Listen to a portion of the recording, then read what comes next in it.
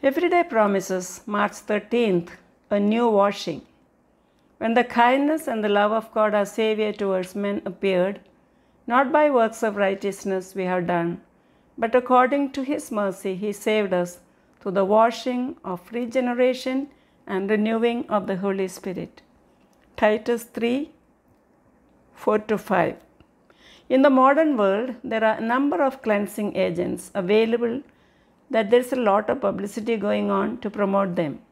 But then, why do we fail to advertise the most effective and powerful spiritual detergent God has provided us freely?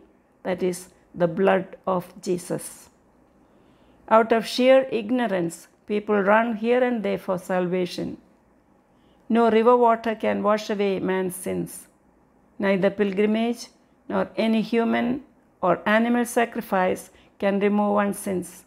Neither good works nor religion can take one to heaven.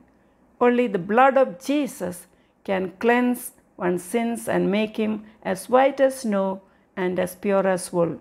Isaiah 1:18. This is a new washing that may sound foolish to those who are perishing, but to us who believe and are saved, it is the power of God. 1 Corinthians 1:18. For God chose the foolish ones from the world in order to put the wise into shame.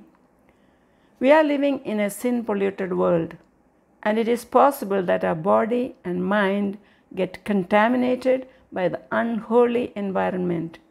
So we need a washing at least once a day.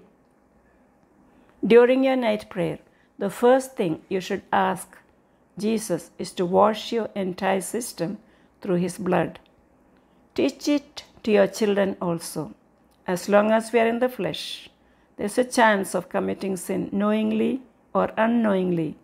Similarly, in the morning, you should surrender your body to the Holy Spirit and ask Him to take full charge of you. Let's pray. Lord Jesus, I apply your precious blood with faith upon my mind, heart, body, and soul. Wash me clean so that I may be made worthy of my Master's use. In your matchless name I pray. Amen. Verse for the day Have mercy upon me, O God, according to the multitude of your mercy. Wash me thoroughly from my iniquity and cleanse me from my sin. Psalm 51 1 2. Have a blessed day.